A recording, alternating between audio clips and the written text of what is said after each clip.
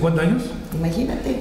Tiene prácticamente 60, 58 años de haberse creado, el 3 de marzo de 1961, como Universidad Autónoma del Estado. Pero sus antecedentes datan de los institutos científicos literarios, que son aproximadamente 150 años. Estamos cumpliendo justamente el 3 de marzo los 150 años de la Universidad Autónoma del Estado de Hidalgo. Y en efecto, Lilia tiene toda la razón. El que no tenemos que olvidar los mexicanos que una universidad por ser pública es mala.